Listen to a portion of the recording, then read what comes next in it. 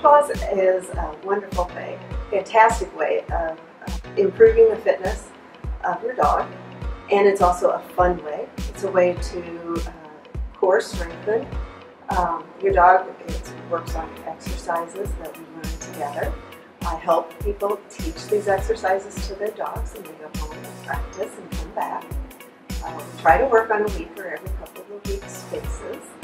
And they go home, work on their uh, homework and. It, has been a fantastic experience for me. Uh, I enjoy working with people and their dogs and watching their relationships grow.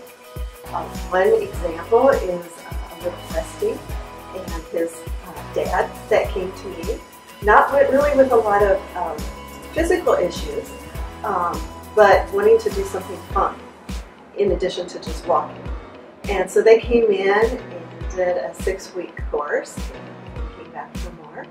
And the bond uh, that grew between them is just fantastic. Common health problems that FitPaws can help with uh, include obesity, um, ge uh, geriatrics. I have a number of senior uh, customers that are doing just super well.